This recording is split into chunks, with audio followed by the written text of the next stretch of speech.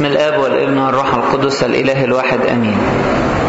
إحنا موضوعنا النهارده بنعمة ربنا عن بنت الملك. بنت الملك دي مواصفاتها إيه؟ وإمكانياتها إيه؟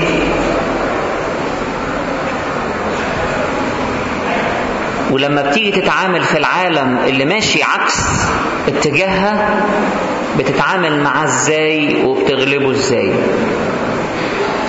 هقرا الأول جزء من رسالة معلمنا من إنجيل معلمنا يوحنا البشير الاصحاح 15 بيقول إيه؟ بيقول أنتم أحبائي إن فعلتم ما أوصيكم به. لا أعود أسميكم عبيدا لأن العبد لا يعلم ما يعمل سيده لكني قد سميتكم أحباء. لأني أعلمتكم بكل ما سمعته من أبي. ليس أنتم اخترتموني بل أنا اخترتكم. وأقمتكم لتذهبوا وتأتوا بثمر ويدوم ثمركم لكي يعطيكم الآب كل ما طلبتم باسمي بهذا أوصيكم حتى تحبوا بعضكم بعضا. إن كان العالم يبغضكم إن كان العالم يبغضكم فاعلموا أنه قد أبغضني قبلكم.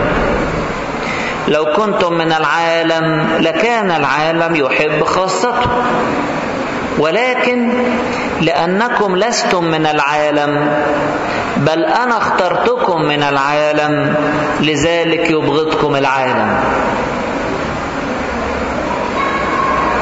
هقول تاني الآية الأخيرة دي. لو كنتم من العالم لكان العالم يحب خاصته. لكن لأنكم لستم من العالم بل أنا اخترتكم من العالم لذلك يبغضكم العالم.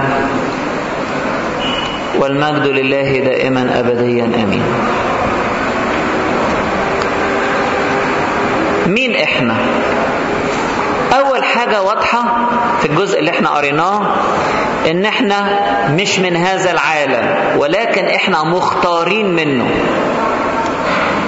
يبقى دي أول حاجة. إحنا مش من هذا العالم زي ما أنتوا كنتوا بتقولوا في الترتيلة أنا مش من هنا. إحنا مش من هذا العالم لكن إحنا مختارين منه مجموعة كده منتقاة. يجي ناس تانية يقولوا لك إيه؟ يقولوا لك يعني إيه؟ يعني أنتوا شعب الله المختار يعني؟ آه. ولكن مش بمعنى إن إحنا نتكبر على غيرنا. ولا بمعنى إن إحنا جماعة مقفولة على نفسها. لا ده شعب الله المختار ده بابه مفتوح لكل الناس اللي تحب تنضم ليه. زمان اليهود كانوا فاكرين نفسهم شعب الله المختار وبس لكن كان في وصايا في العهد القديم يا جماعة. بتقول إنه في ناس تحب تنضم لشعب ربنا تنضم. مش مقفولين على نفسهم. السيد المسيح جاي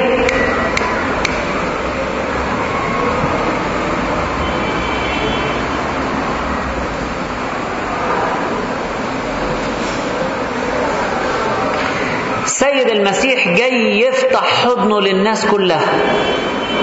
كلهم. كل الأجناس وكل الأشكال والألوان والأعمار. وقال من يقبل إلي لا أخرجه خارجا. لكن اللي يحب ينضم للشعب بتاع المسيح لازم يلتزم بدستور المسيح. كلام من ربنا في الكتاب المقدس. لازم يلتزم بالقداسة. لازم يلتزم بوصايا المسيح اللي فيها المحبة وفيها الوداعة وفيها الطهارة وفيها التواضع. لازم يلتزم. يعني إحنا مش من هذا العالم إحنا مختارين لكن في واحد تاني عايز يدخل.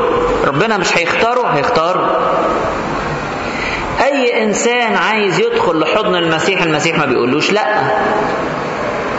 ولما بيدخل يبقى من ضمن الايه المختارين. يبقى إحنا دي أول حاجة. إحنا مش من هذا العالم لكن إحنا مختارين من هذا الايه العالم. نبقى خاصة ربنا نبقى بتوعه. نبقى بتوعه. يعني إيه بقى نبقى بتوعه؟ يعني نمرة واحد نبقى مولودين منه. إذا كنا هنبقى أولاده نبقى لازم نكون مولودين إيه؟ منه. يعني إزاي نتولد منه؟ آه هو الله روح يبقى لازم نكون مولودين من فوق. ميلاد روحاني. ميلاد إيه؟ روحاني.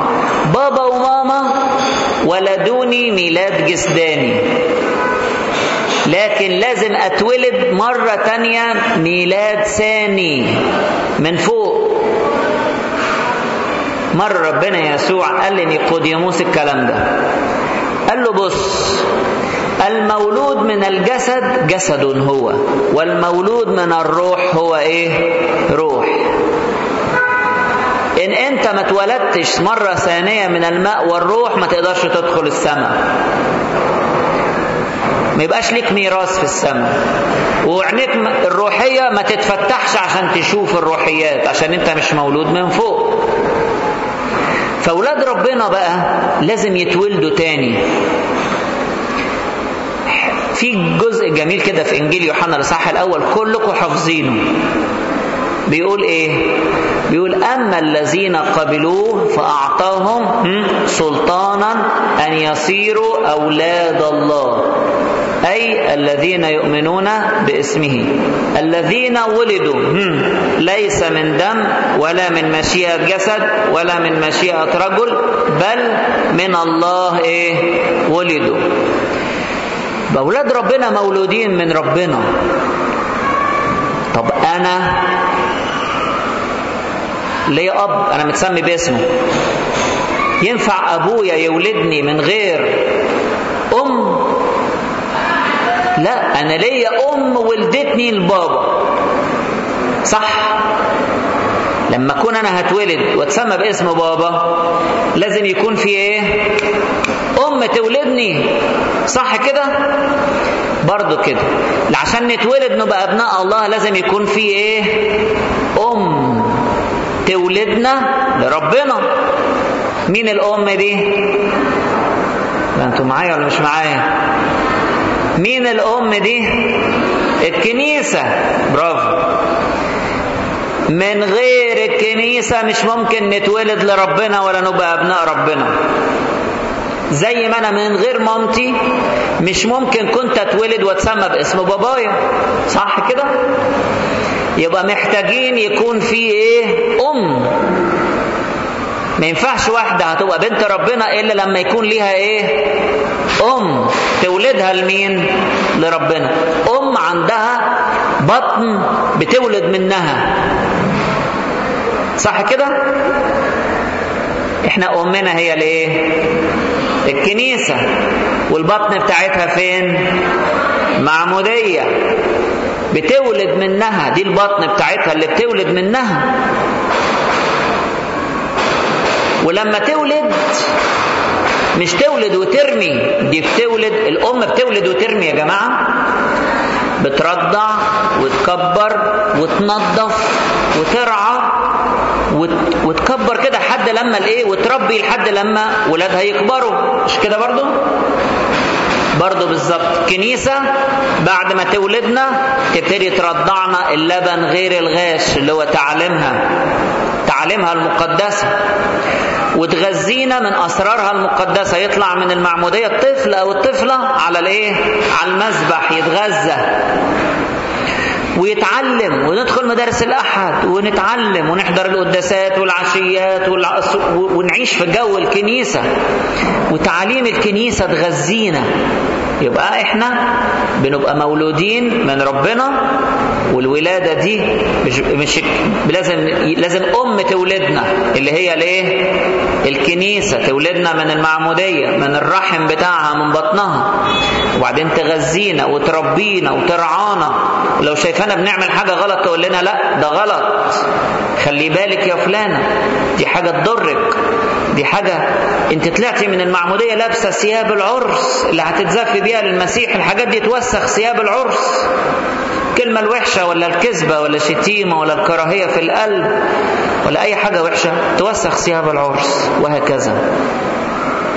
يبقى إحنا اتولدنا من فوق. من المعمودية أمنا الكنيسة ولدتنا لمين؟ لربنا. لأن الكنيسة هي عروس المسيح زي ما مام مامتي كانت عروس بابا. وأنجبتني لبابا بقيت متسمي باسم بابا. فالكنيسة كده بتولدنا عشان نتسمى باسم ربنا ونبقى إيه؟ أولاد الله. بس كده لا ده الكنيسة بتعمل معانا حاجات تانية كمان. بتكرسنا نبقى مخصوصين لربنا. مخصوصين لربنا. يعني إيه؟ بعد المعمودية ترشمنا بالإيه؟ بالميرون. مسحة الميرون دي بنسميها التدشين. بندشن بنقدس بنكرس. أبونا بيرشمنا بالزيت المقدس زيت مسحة الروح القدس في كل أعضائنا ومفاصلنا. يعني واحد اثنين ثلاثة أربعة خمسة ستة سبعة ثمانية. دول في الراس. ماشي؟ تسعة هنا عند القلب عشرة عند السرة ورشمين في البطن 11 في الظهر 11 و12 12 ونحط عليهم ستة في أربعة بأربعة وعشرين.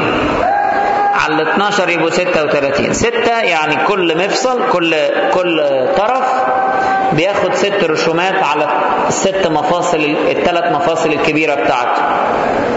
يعني مثلا الدراع ده رشمين عند الكتف رشمين عند الكوع رشمين عند الرسغ والناحية التانية زيه والرجل زيه عند مرفق الفخذ وعند الركبة وعند الأنكل عند مرفق القدم. عندنا كل الحركات والمداخل والمخارج تبقى مدشنة لربنا فبقينا مكرسين لربنا مش بس كده ده أعضائنا دي ما دام اتختم عليها بختم ربنا بقت أعضاء المسيح أنا لما بحب أقول إن ده بتاعي أكتب عليه إيه؟ اسمي أو أختم عليه بإيه؟ بختمي فكل الجسم. أعضائنا بقت أعضاء الإيه؟ المسيح. وإحنا بقينا مولودين من فوق بقينا أعضائنا أعضاء المسيح. حاجة تانية مهمه إن إحنا ما دام بقينا أبناء فنبقى إيه؟ ورثة. نبقى إيه؟ ورثة. نورث يعني. أنا هقف كده معلش عشان خاطر أساعدكم على التركيز.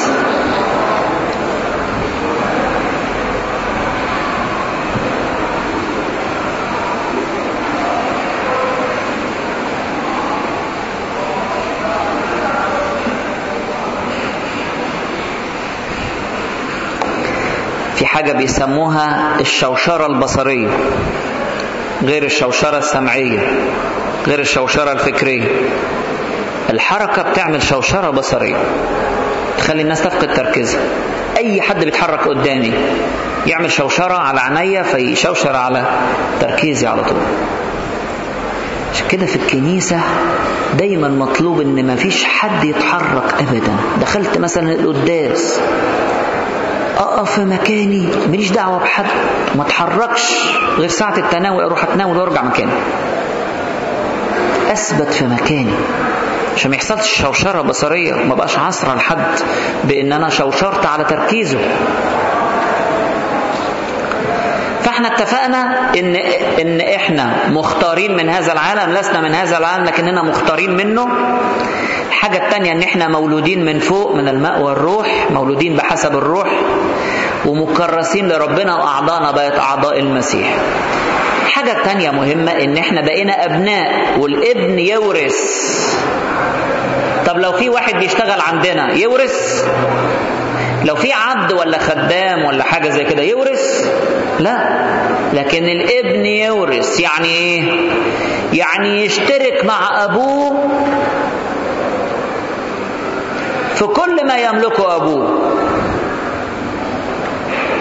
يورث.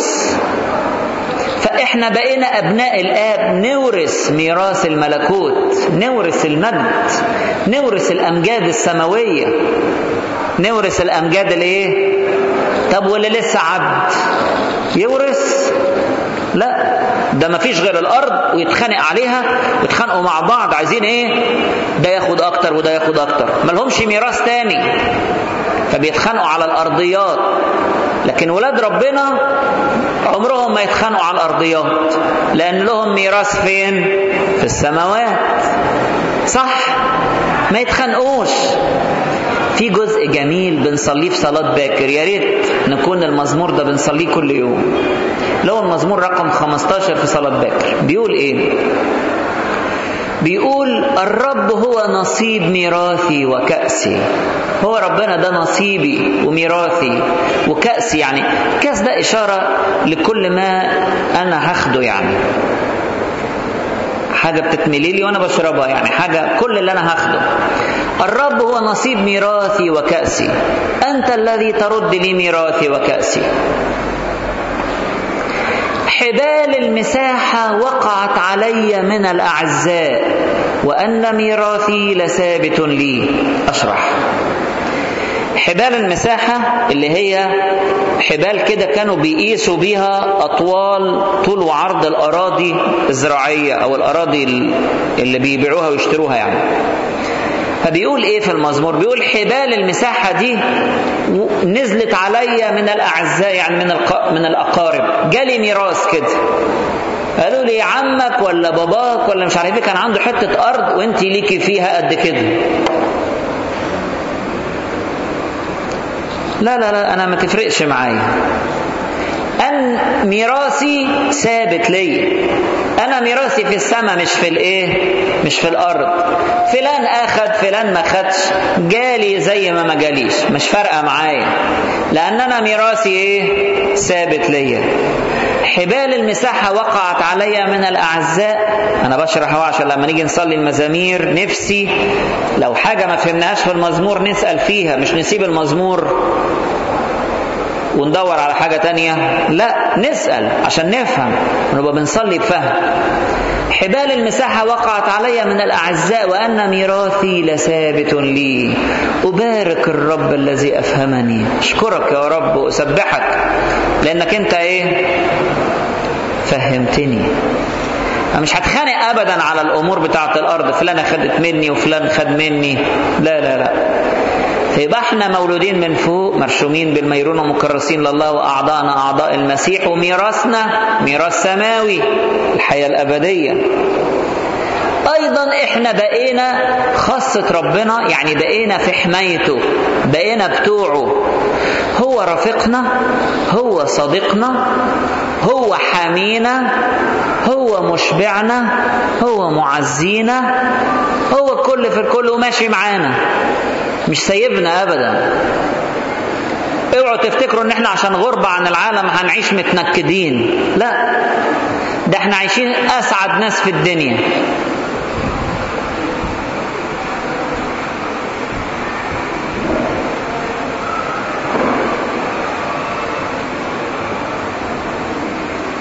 أنا موقف علشان. بصي لي بصي لي بس بصي لي ما تبصيش تحت.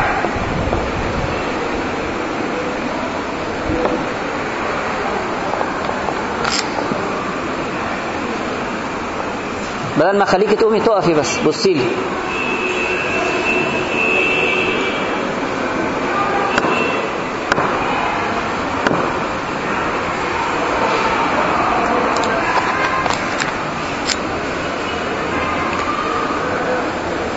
الحاجة التانية اللي أنا كنت بقول عليها إن إحنا في حماية إلهنا الحلو ده اللي حياته كلها عشاننا اللي بيحمينا اللي بيعزينا اللي بيوكلنا اللي بيشربنا طعام روحي اللي بيعزينا في وسط الصعوبات اللي إحنا بنشوفها في العالم.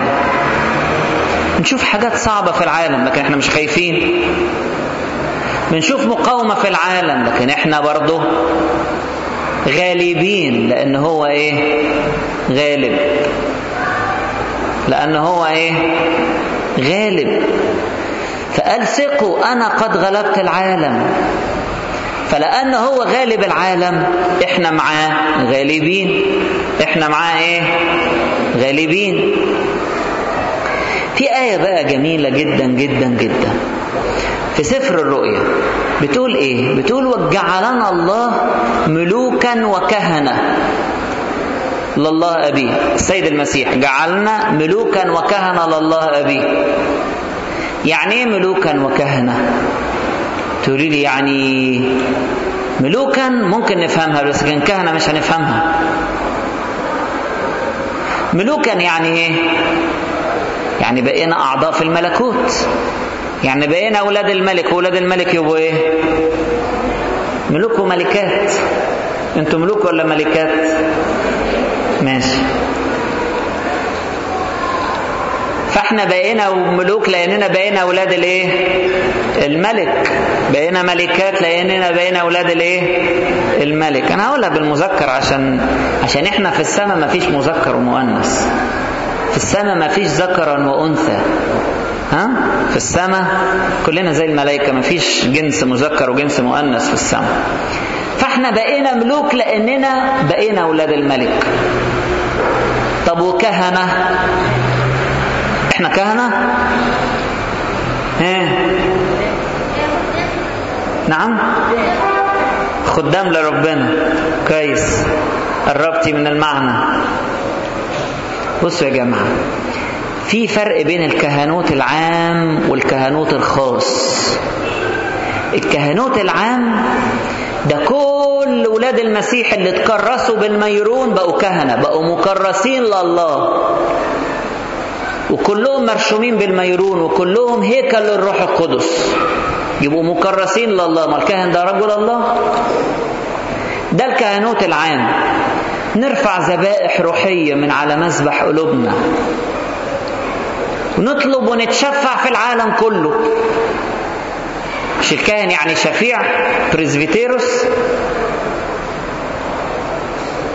فاحنا بقينا بنتشفع في العالم كله وبنصلي من أجل الهواء ومن أجل المية ومن أجل الزروع ومن أجل سلام العالم ومن أجل حاجات كتيره خالص. بنتشفع. لكن الكهنوت الخاص ده حاجة السيد المسيح مختار مجموعة. بيسميهم الوكلاء بتوعه وكلاء سرائر الله. بيديهم سلطان معين بيديهم مسؤولية معينة. ده اختار التلاميذ وبعدين التلاميذ بقوا يضعوا اليد على ناس ويدوهم هذه الموهبة. ده الكهنوت الايه؟ الخاص. لكن إحنا جعلنا كلنا ملوكا وإيه؟ وكهنة. ملوك لأننا أولاد الملك كهنة لأننا بقينا مكرسين إيه؟ لله. أوكي؟ فإحنا بقينا ملوك وكهنة. يعني المفروض نحافظ على الإيه؟ على النعمة اللي إحنا عايشين فيها دي. طبعا بنت الملك دي ما ينفعش تبقى علاقتها بباباها ضعيفة. لازم تكون دايما على اتصال بيه. بتكلمه في الصلاة بتسمع صوته في الإنجيل بتتناول جسده ودمه فتثبت إيه؟ فيه. ده وضع بنت ربنا. تعالوا بقى نشوف العالم. العالم السيد المسيح قال لنا لا تتعجبوا إن كان العالم يبغضكم. العالم بيبغضنا. لكن طياراته اللي ضدنا دي ما تقدرش علينا ما تقدرش. ما تقدرش. عايزك تكوني واثقة جدا في ربنا. وعندك قوة وشجاعة ان طيارات العالم ما تقدرش علينا المبادئ اللي جواكي روح الله اللي جواكي نعمة البنوة اللي, اللي انت عايشة فيها العالم ما يقدرش عليها. لا يقدر ما يخليكيش بنت ربنا ولا يقدر يكسر المبادئ اللي جواكي ولا يقدر ينزع روح ربنا من جواكي. ما يقدرش ما يقدرش. ولاد ربنا أقوياء وغالبين. بنقول عليهم دايما تشبيهين. تشبيهين حلوين. التشبيه الأول تشبيه السفينة اللي ماشية فوق الأمواج. ماشية إيه؟ فوق الأمواج. الأمواج تضرب تضرب مش مشكلة. هي فوق الايه الأمواج واخدة سكتها. واخدة إيه؟ سكتها. لما تكون واخدة سكتها وماشية عمر ما الأمواج تلعب بيها. تلاقيها هي اللي بتخبط الأمواج وتفلقها كده نصين وتعدي فيها. مين ركب سفينة كبيرة؟ باخرة يعني. ما ركبتوش مع إنكم اسكندرانيين يعني. البواخر الكبيرة لما تيجي تبصي أنا ركبت يعني. فلما تيجي تبصي كده وهي ماشية في البحر تلاقيها بتخبط بتشق البحر كده بالمقدمة بتاعتها. والأمواج ولا حاجة قصادها ولا حاجة. يعني مهما كان البحر هايج ممكن يعني تحسي بس كده شوية كده إيه حركة بسيطة كده يعني. بس. لكن الأمواج تحتيها تحتيها. وهي فوق واخدة سكتها. ولاد ربنا كده. بنت ربنا ماشية كده زي السفينة القوية اللي بتشق الطريق. مفيش حاجة تغلبها ولا حاجة تهزها ولا حاجة تقف قصادها. برضه التشبيه الثاني الجميل أنا بحبه قوي تشبيه السمكة. سمكة حية عايشة في البحر. بصوا محتفظة بلحمها حلو في وسط البحر المالح. البحر ميته حدقة لكن السمكة لحمها إيه؟ حلو. تدوقي طعمها تقولي الله. بالظبط ولاد المسيح كده وبنات المسيح كده. ماشيين في البحر بتاع العالم بس العالم ما بيدخلش جوه ولا بيغير طعمهم ولا بيغير طبيعتهم. ده المية دي لو دخلت في اللحم تفسده. لو إحنا سيبنا المية تدخل السفينة تغرقها. ولو المية المالحة دخلت على لحم السمكة تموتها. لا. ولاد ربنا يحافظوا على نفسهم. ماشيين واخدين سكتهم كده. ومحافظين على حلاوة لحمهم على حلاوة قلبهم على حلاوة طبيعتهم الطهرة المقدسة اللي مليانة محبة. طب أنا لو في كراهية دخلت قلبي يبقى اللحم بقى حلو ولا بقى في حاجة كده مش مظبوطة طعمها مش حلو؟ آه السمكة ما حافظتش على نفسها. لا إحنا عايزين السمكة تحافظ على نفسها. ماشية في وسط العالم ما تشتكيش. ما تقولش أصل المية بتاعة البحر طعمها مالح وحادق فأنا هعمل إيه؟ بوظت اللحم بتاعي. لا. العالم طبيعته ان هو مية ملح لكن ولاد ربنا محافظين على نفسهم. محافظين على إيه؟ على نفسهم. عشان كده آخر حاجة هكلمكم فيها حاجة أنا بحب أسميها المسارات الآمنة. المسارات الآمنة وسط العالم. يعني دايما أمشي في سكة السليمة النظيفة الدغري المستقيمة.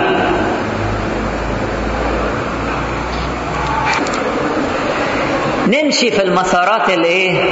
الآمنة. في مثل مثل بلدي كده يعني بس مثل صح. بيقول إيه؟ من خاف سلم. من خاف إيه؟ سلم. يعني اللي يخاف يبقى خد طريق السلامة. المثل ده مش معناه إن الإنسان يترعب. الخوف هنا معناها الحذر. معناها الايه؟ الحذر والحرص. يعني أنا لو أنا ماشي في سكة وكل الأماكن مش نظيفة أنا لو مشيت كده وحكيت كده هدومي إيه؟ هتبوظ هتتوسخ مش كده برضو؟ ولو سكة هنا فيها سلك شايك وأنا عديت كده باستهتار ومشيت كده وعديت مش السلك ده هيشبك يقطع لي الجلابية؟ هيبهدل لي هدومي. وأنا لو ماشي في سكة في مولعين نار. ما أعرفش بيتدفوا ولا بيعملوا إيه. في نار هنا وفي نار هنا. لو أنا مشيت كده باستهتار مش ممكن النار تشبك في هدومي؟ ممكن ما تبوظليش بس هدومي ممكن تولع فيا. ممكن أضيع. صح؟ يبقى الحذر والحرص مهم جدا وإحنا عايشين في العالم ده. اتفقنا ان إحنا مش من هذا العالم. والعالم فيه شر. والعالم بيمشي ضدنا. والمسيح مختارنا من العالم ومحافظ علينا. لكن إحنا لازم كمان نكون إيه؟ حريصين. بنمشي في المسارات الايه؟ المسارات الايه؟ الآمنة. المسارات الآمنة. مش همشي في أي سكة. مش همشي. في مخاطر يا جماعة. زي ما بقول لكم كده في سكة هتلوث هدومي في سكة تشبك في هدومي تجيبني لورا. في ممكن ألاقي فخ أروح متكعبلة في رجلي تتكسر ما أعرفش أكمل طريقي. في نار في أشواك في أس... في حاجات كده. أنا لازم أدور على المسار الآمن وأمشي فيه. مش كده برضو طب لو حاجة كده فيها مخاطر لا ما أمشيش فيها. دي مش سكتي. أي فلان عايزة تاخد تاخديني فين؟ لا دي مش سكتي. لا السكة دي أنا ما أعرفهاش. أسأل الأول قبل ما أمشي فيها. المشوار ده أنا ما رحتوش قبل كده. استني أسأل الأول. المشوار ده هيكون كويس للخير ولا هيجيبني لورا؟ صح يا جماعة؟ المسارات الآمنة. في مثل بقى أنا بحب إيه؟ أقوله أختم لكم بيه. إحنا كأننا ماشيين في حقل الغام عارفين حقول الألغام؟ أنا شرحت المثل ده كتير قبل كده لناس كتير. بس اعيده تاني عشان اللي ما سمعوش. بصوا يا جماعة في في من ضمن الأسلحة اللي موجودة حاجة بيسموها الألغام. الألغام دي درس يعني عسكري شوية. الألغام دي على نوعين. في نوع يعني في في أنواع تانية طبعا مختلفة بس يعني دول النوعين الكبار المشهورين. في نوع قد قبضة إيدي كده ده بيسموه لغم مضاد للأفراد للأشخاص للبني آدمين يعني. وفي نوع كده عامل زي الحلة متوسطة الحجم. ده بيسموه ألغام مضادة للدبابات والمدرعات. اللغم ده عبارة عن قنبلة فيها دايرة كهربية بتتزرع تحت الأرض تحت وش الأرض مباشرة. بحيث إنها تبقى متغطية الناس اللي, اللي ماشية ما تشوفهاش. متغطية بطبقة تراب بسيطة. مزروعة كده بيحفروا لها ويحطوها ويغطوها. على وش الأرض مباشرة بحيث إن اللي هيدوس كده فيها بيبقى زي سوستة كده. لو داس وشال رجله زي سوستة الالم لو داس وشال رجله الدايرة بتاعت القنبلة تتوصل ببعضها فتروح منفجره طبعا لما بتنفجر قنبلة صغيرة بتنفجر في واحد مباشرة من تحت كده بتموته. يعني نادر جدا لو واحد حس وهو بيدوس برجله بصوت اللغم. فبيبعد جسمه شوية وبي طبعا يعني حاجة صعبة قوي يعني. المنظر المنظر بيبقى صعب جدا. يروح باعد جسمه شوية وناطط يعني بعيد فاللغم بيطير رجله بس والمفروض بقى يتلحق بسرعة لو الإسعاف ما لحقش بسرعة إن هو يوقف له النزيف ويقطع له رجله لأنه بيشيل رجله. ده على أفضل تقدير. غالبا هو بيموت. لغم بينفجر. قنبلة بتنفجر. ولو دبابة عدت على حاجة مضادة للدبابات اللي هي الكبيرة دي بينفجر في الدبابة ويموت كل الناس اللي فيها.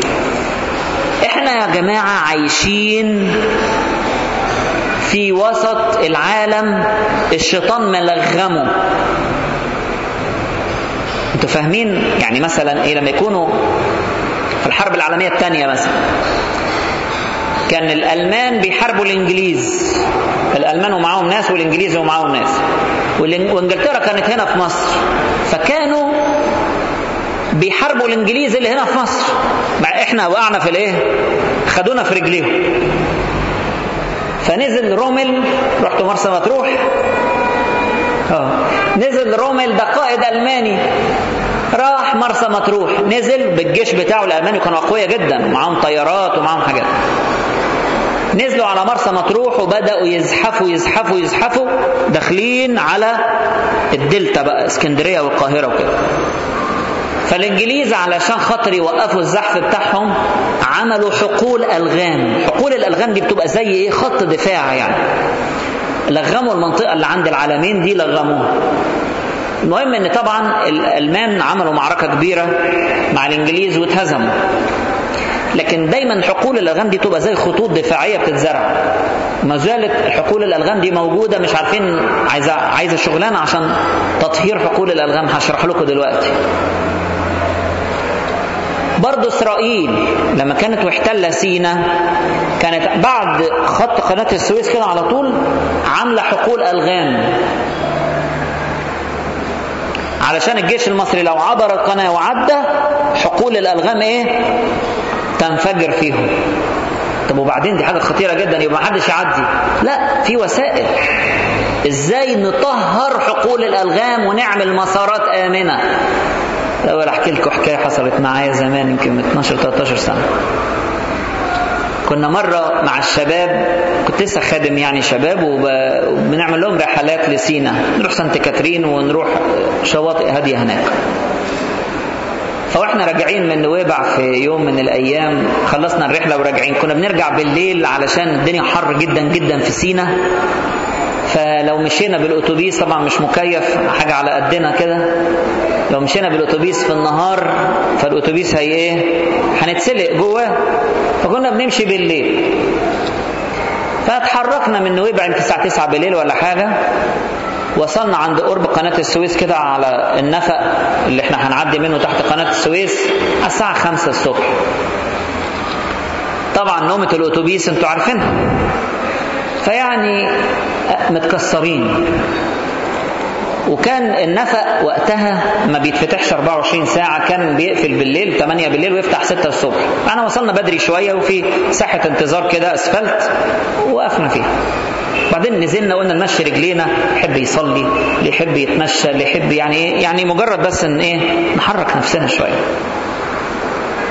وبعدين أنا بسلامتي لقيت حتة كده رمل واسعة قوي قوي فقلت انزل اتمشى فيها. الدنيا كانت لسه ضلمة. فنزلت اتمشى. قعدت اتمشى رحت بعيد. مش فاكر كنت بصلي ولا كنت بعمل إيه. وبعدين رحت بعيد خالص. وبعدين رجعت بعد نص ساعة تقريبا. كانت الدنيا بدأت إيه؟ تنور. بصيت لقيت عسكري بيناديلي بزعيق وبشخط. انت اللي هناك تعال هنا بسرعة. عملت له إيه ده؟ بزعق ليه؟ رحت. هل أنت مش شايف اليافطة؟ قلت له لا مش شايف. الدنيا كانت ضلمة. أتاري اليافطة مكتوب عليها حقل الغام ممنوع الاقتراب. وأنا بسلامتي كنت بتمشى في حقل الغام. إيه رايكم يا جماعة؟ ينفع واحد يتمشى في حقل ألغام؟ ده يبقى إيه؟ يعني فقد توازنه خالص. أشكرك يا رب الحمد لله. قلت له معلش أنا ما كنتش شايف واعتذرت ومشيت. طبعا هو الراجل الظاهر موقفينه حارس عشان ما يخليش حد يعدي بس هو ما شافنيش. ده حصل. ربنا ستر. بس أنا عايز أصور لكم يعني إيه حقل ألغام ويعني إيه واحد يتمشى فيه. يبقى في خطورة ولا ما فيش خطورة يا جماعة؟ خطورة كبيرة جدا جدا. طب نعمل إيه في حقول الألغام دي؟ في الجيش حاجة اسمها سلاح المهندسين العسكريين. سلاح المهندسين العسكريين ده بيبقى فيه ضباط وناس يعني جنود متخصصين في تطهير حقول الألغام وفتح مسارات آمنة تطهير حقول الألغام وفتح إيه؟ مسارات آمنة يعني إيه؟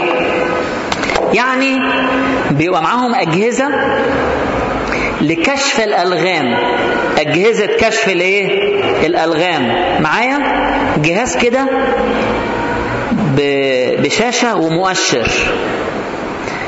لو قرب من لغم تلاقي المؤشر إيه؟ راح منور كده. أي حاجة حديد يعمل كده إيه؟ إشارة. في زي مغناطيس قوي. في أي حاجة حديد تلاقي المؤشر إيه؟ عمل كده إشارة. فبيمشوا بالجهاز ده يا جماعة يمشوا كده على الأرض ويمسحوا الأرض مسح كده.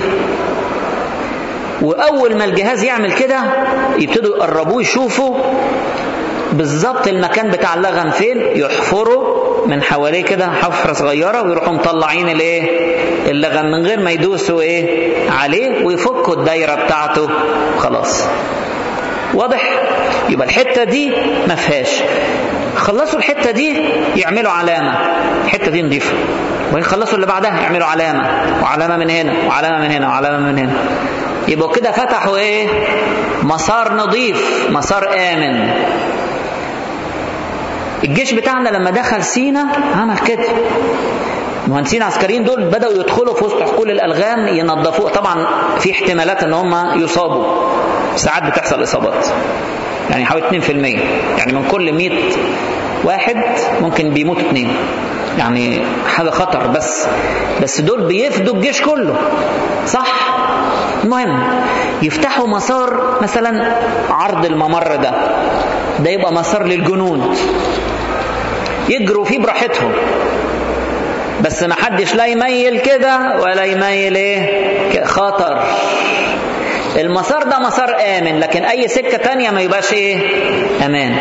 طب عايزين يعدوا مسار للعربيات يروحوا فاتحين إيه؟ مسار عريض شوية. هياخد منهم مجهود بس يفتحوا مسار عريض تعدي منه الدبابات والعربيات مسار آمن. غير كده محدش إيه؟ يتحرك لا يمين ولا إيه؟ ولا شمال. بصوا بقى يا جماعة أنا حكيت كتير تعالوا نطبق بقى. إحنا عايشين في وسط العالم محتاجين نمشي في المسارات الايه؟ الآمنة فقط. لا نمشي يمين ولا نمشي شمال. لو إحنا جينا مثلا على الإنترنت لو أنا سألتكم كم واحدة عندها إنترنت في البيت؟ هلاقي ثلاث أرباعكم رافعين إيديكم صح؟ مين عنده إنترنت في البيت؟ آه ده الكل. يعني أو الأغلبية العظمى. الانترنت حقل الغام افتكروا الكلام ده اللي أنا قلته. الانترنت حقل إيه الغام. ما نمشيش غير في المسارات الايه الآمنة. مش نتجول في حقول الألغام. شوفوا أنتوا ضحكتوا عليا إزاي لما أنا كنت ماشي غصب عني في حقول الألغام؟ الشيطان يقف يضحك على أي إنسانة وأي إنسان بيتمشى في الانترنت كده. وبعدين تطلع لها حتة تروح سحبها يمين سحبها شمال سحبها يمين سحبها تلاقي نفسها وقعت في مواقع وحشة فيها عري أو فيها نجاسة أو فيها شر. آه. حقل الغام انفجر فيها إيه ده؟ انفجر في وشي. لغم طب وإيه اللي خلاك تتمشي في حقول الألغام؟ ها؟ إيه اللي خلاك تتمشي في حقول الألغام؟ مش تخليك واعية؟ المسارات الآمنة. هتلاقوا مثلا موقع الكنيسة هنا بتاع الانبا تكل في كمية رهيبة كبيرة جدا من عناوين المواقع الكويسة. ادخلي بس على موقع الكنيسة هنا أنبا تكلا هتلاقوا كمية من المواقع links links يعني روابط روابط روابط بتاعت مواقع جميلة وممتازة سواء مواقع دينية أو عايزة تنزلي تراتيل أو صور أو ألحان أو غيره أو غيره. وفي مواقع أخبار وفي مواقع علمية. أحطها؟ خلي بالكم معايا. في ال favorites اللي هي المحببات بتاعتي وهي دي تبقى المسارات الايه؟ الآمنة بتاعتي مش كده برضو؟ أنتوا فاهمين الكلام. الحاجات الكويسة أحطها عندي في ال favorites وما ادخلش على حاجة تانية. حقول الألغام مش للتمشي فيها. الإنترنت فيها 30% يمكن أو أكتر من المواقع بتاعتها مواقع وحشة. ناس بتعرض البضاعة بتاعتها مش هنقدر نقول لهم لأ بس إحنا مش هنروح نشتري. إحنا عندنا الحاجات الكويسة اللي بنروح نشتريها. أنا عندي سوق.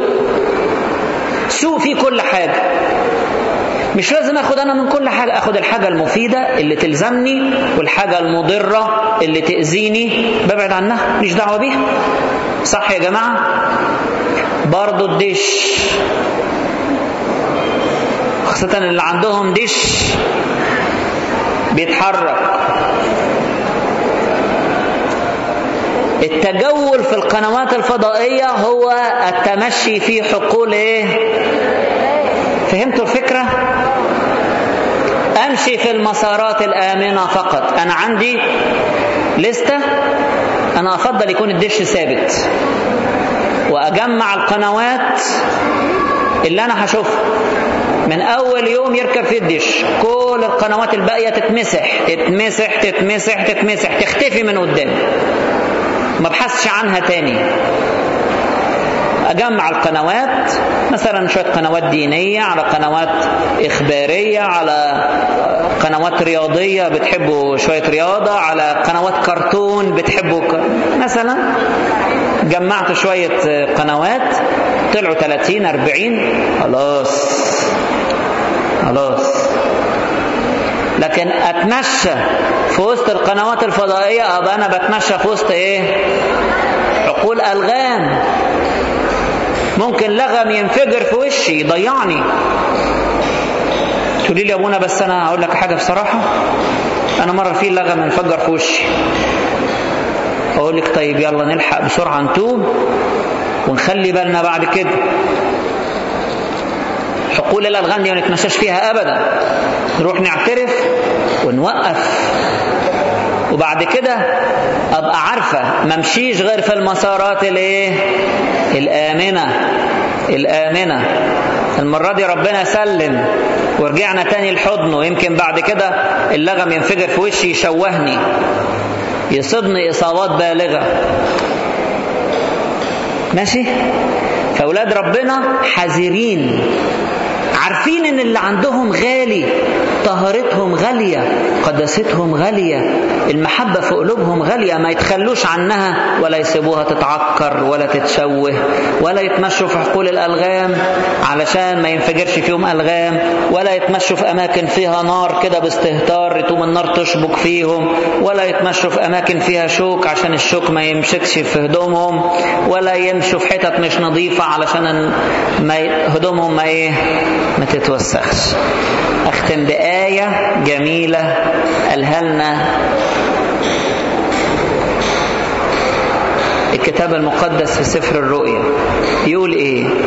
طوبى لمن يسهر ويحفظ ثيابه. يسهر يعني إيه؟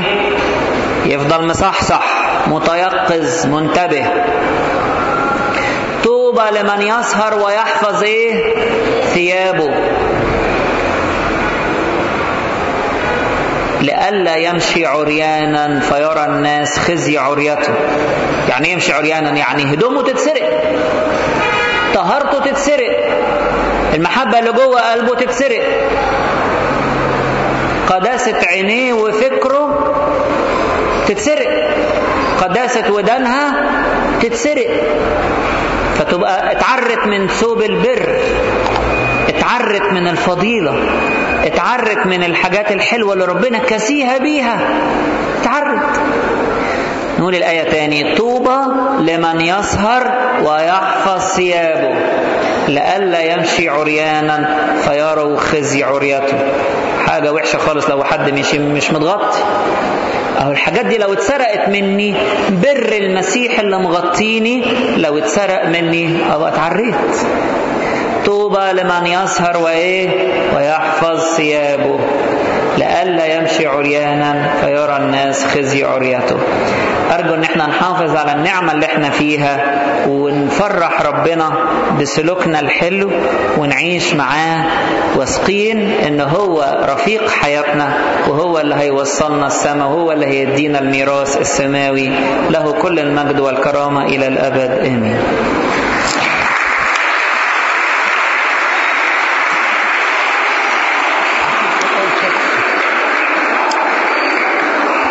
لسه ما اخترعتوش ال ال الوسيلة الثانية مش كده؟ طيب إمتى هتخترعوها؟ عايزكم من هنا لبكرة ماكسيموم تكونوا ابتكرتوا وسيلة للتعبير عن الفرح أو التقدير أو التحية غير إيه؟ غير وسيلة التسقيف عشان دي هيصة شوية أنا فتاة بالمرحلة الإعدادية وسمعت. هتصبروا عليا الخمس دقايق دي. شكرا. أنا فتاة بالمرحلة الإعدادية وسمعت من أحد الطوائف الإنجيلية أن السيد المسيح خلال الأربعين المقدسة شرب.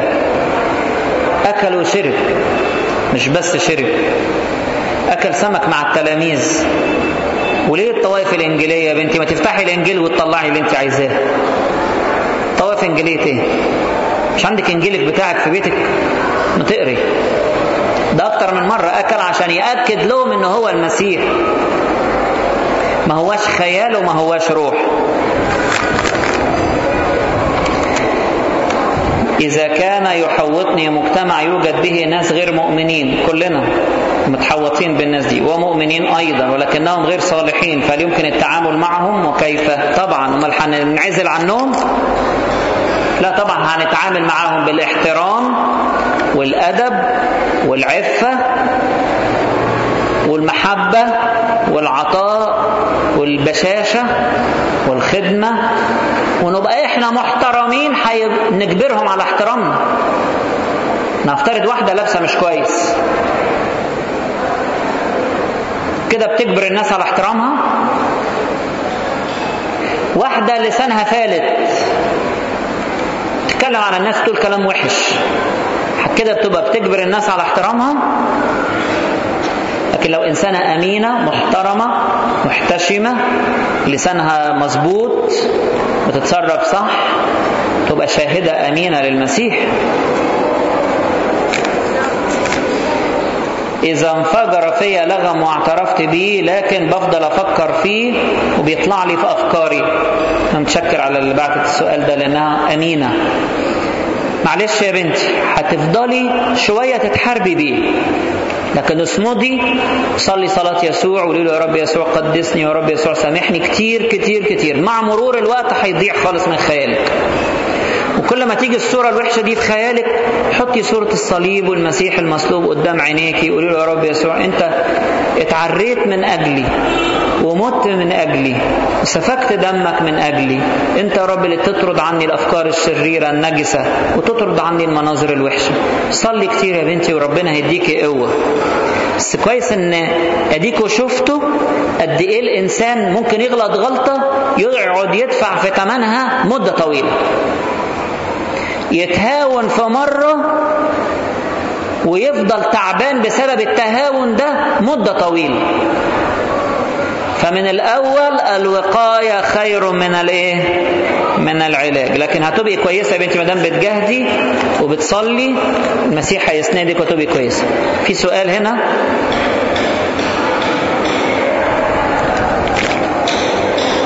أنا شاهدت صورة مش حلوة في الموبايل لكني قلبته بسرعة. إذا كان في رسائل حاجة وحشة زي كده تجي لنا في الموبايل نمسحها على طول. ربنا يحفظنا من الحاجات الشريرة. أنا بعمل خطية معينة يعني وخايف أقول لأبونا. لا يا بنتي ما هو يفضل الشيطان معشش في قلبك ومتسلط عليك. ما انت مش عايزة تقولي لابونا. وقبل ما تقولي لابونا لازم تقفي وقفة جد مع نفسك بصراحة. تقولي آخرة الخطية إيه؟ آخرة الخطية هضيع هضيع ههلك. لازم أقف وقفة جد مع الخطية. وأروح لابونا لابونا هيساعدني إن أنا أتخلص منها. هيديني تدريب. وهيديني كده حاجات تشجعني وتديني نعمة وهيصلي لي. لكن أنا أفضل مخبية الشيطان في قلبي وبعمل حاجة غلط. إيه ده إيه؟ لا ما خلصنا هو نفس الشيء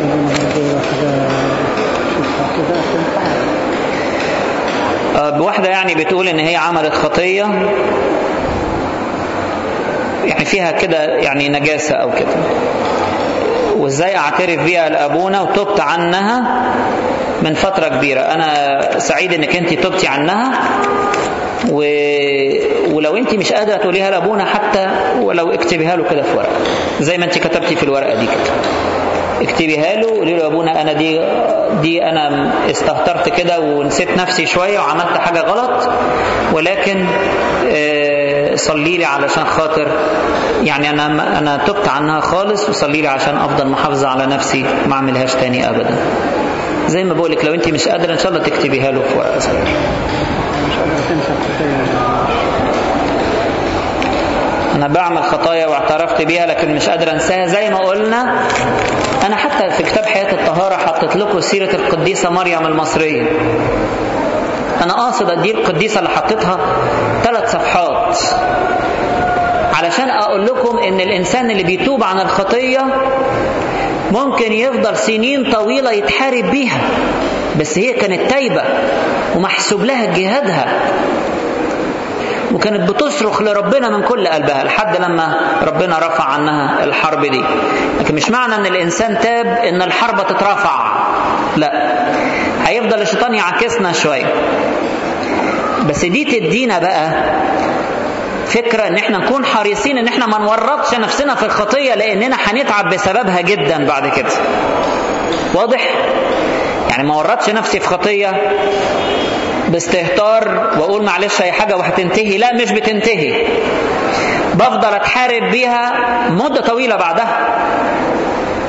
فيبقى من الأولى ليا إن أنا كنت إيه؟ أبعد عنها من الأول. أنا واحدة عندي إيميل وبتكلم على الشات فقط مع أولاد. بصوا يا جماعة الشاتنج ده أنا الحقيقة مش شايف له فوايد. إلا في وقت يعني في ظروف محدودة جدا. لو أنا ليا قريبة في الخارج مثلا وبوفر ثمن التليفون إن أنا أتكلم معاها بالشاتنج لكن أنا مش شايف إن هو غير إن هو تضييع وقت زائد إنه ممكن أشبك في حاجة من الحاجات اللي أنا شرحتها دي. أشبك في سلك أشبك في نار أشبك في حاجة مش نظيفة. أعتر بلغم. أتكلم كده مع واحد معرفوش إيه ده؟ وبعدين هتعب وبعدين معرفش اسيبه وبعدين اقعد اتوب واتعب قوي في, الجهاد ضد الموضوع ده. طب وين اللي خلاني شبكت معاه من الأول؟ بعدين بتقول لكني لا أقول أي معلومات صحيحة. طب أنت تخدعي طب تخدعي لي طب بتضيع وقتك ليه؟ يعني هي عايزة تحافظ على نفسها؟ ما بتقولوش ابدا مثلا اسمها إيه وساكنة فين وبتاع. ها؟ طب وبعدين يعني؟ طب ما انت مضيعة وقتك. طب وبتخدعيه ليه؟ وضيع وقتك ليه؟ طب ما تعملي حاجة مفيدة أحسن. بتقري تاريخ الكنيسة. تقعدي تقري في الإنجيل. طب ما تقعدي تعملي ترانيم على ال PowerPoint طب ما تعملي حاجات كتيرة حلوة. نضيع وقتنا في ال chatting ليه؟ اعملوا chatting مع بعض أنتوا. تتبادلوا فيها آيات من الإنجيل. تأملات بحوث. لو في إيميلات بينكم وبين بعض دلوقتي خدوا الإيميلات بتاعت بعض وشجعوا بعض على الحاجات الحلوة.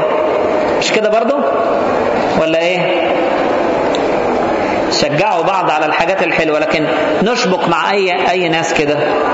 ده مش كويس. الأسئلة مش هتخلص. آه. ده السؤال اللي قبل الأخير. واحدة بتقول أنا مش مرتاحة مع أب اعترافي مش قادرة أقول له. بطلع من الاعتراف مش بحس إني مرتاحة. أسيبه ولا أكمل؟ في أبونا تاني أنا حاسة إني هرتاح معاه بس ما أعرفوش. أنت ما تعرفيهوش. بصوا يا جماعة هقول لكم ثلاث أربع مبادئ مهمة في الموضوع ده. أول حاجة اهتمي بالتوبة بتاعتك قبل ما تقعدي مع ابونا تاني حاجة ما تعتمديش على مشاعرك. بس. تالت حاجة ما تضحيش بسهولة بأب اعترافك. أقول تاني. أول حاجة اهتمي بالتوبة. تكوني أنت حسبتي نفسك كويس. حسبتي نفسك كويس. ووقفتي تصلي بعد ما كتبتي النقط اللي فيها أخطاء وقفتي تصلي وتطلبي معونة من ربنا. ورايحة لأبونا مستوية تايبة مظبوط. مش رايحة تحكي حكايات يقول لك يا بنتي هي فين الخطية؟ نشنيني على الخطية وقوليها لي. مش مجرد إنك انت بتحكي لي حكايات وأنا اصطاد بقى منها.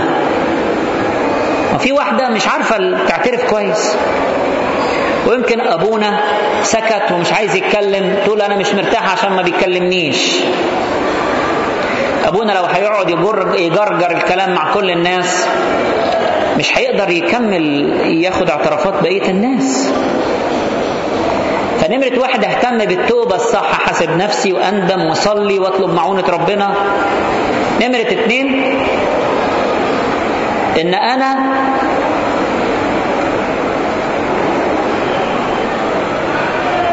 ما اعتمدش على مشاعري. وبس المشاعر دي يوم فوق ويوم إيه؟ تحت. يوم أبونا قابلني بابتسامه الله ده أب اعترافي ده عسل. وأبونا في مرة كان مشغول فسلم عليا بسرعة. مش مهتم بيا. ما بيتصلش بيا. ما بيقابلنيش كويس. المشاعر دي دايما إيه؟ فلكتويتنج كده. يوم فوق ويوم تحت. ما تعتمديش عليها.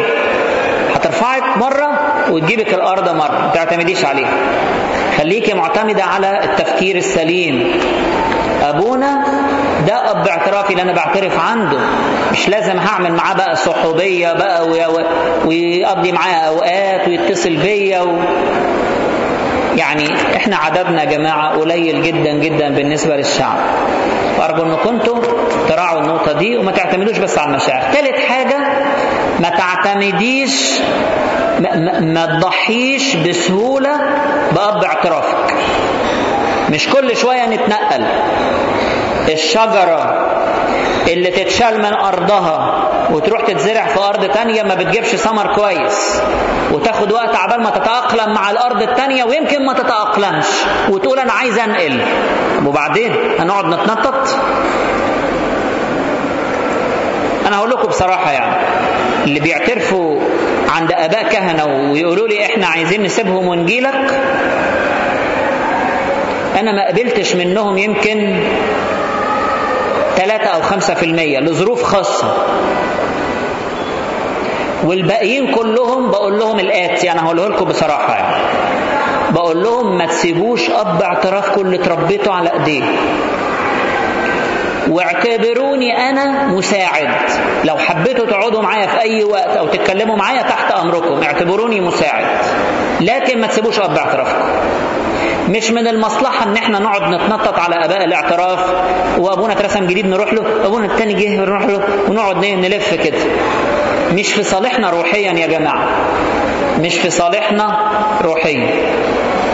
خلاص؟ سؤال شفوي وهو السؤال الأخير.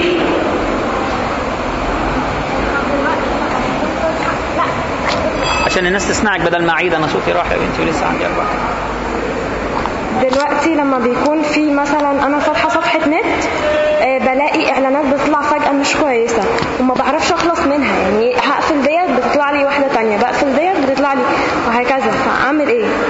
انت فاتحة إيه؟ انت فاتحة الإيميل ولا فاتحة إيه آه بفتح مثلا مواقع جيمز أو مواقع دينيه الاعلانات الوحشة اللي ممكن تطلع لنا بنقفلها نقدر نقفلها نقدر نقفلها. وفي مواقع نظيفة ما بيطلعش فيها إعلانات خالص. وفي مواقع نقدر نقفلها ما نبصش عليها. يعني بيطلع لنا حاجة هي بتبقى عبارة عن زي صورة عشان تسحبك لموقع. مش كده برضو؟ الحاجة اللي مش مظبوطة نروح قافلينها على طول. أو نغير الصفحة نرجع للي قبلها. نروح للي بعدها. لو حسيت إن موقع كله بالمنظر ده ملوش لازمة بقى. ها؟ آه نقفله خالص. كويس. المهم نكون حريصين يا جماعة حريصين. حاجة وحشة هتلوث قلوبنا وتلوث الثياب العرس بتاعتنا. أشكركم لحسن استماعكم وأرجو ليكم كل بركة في حياتكم.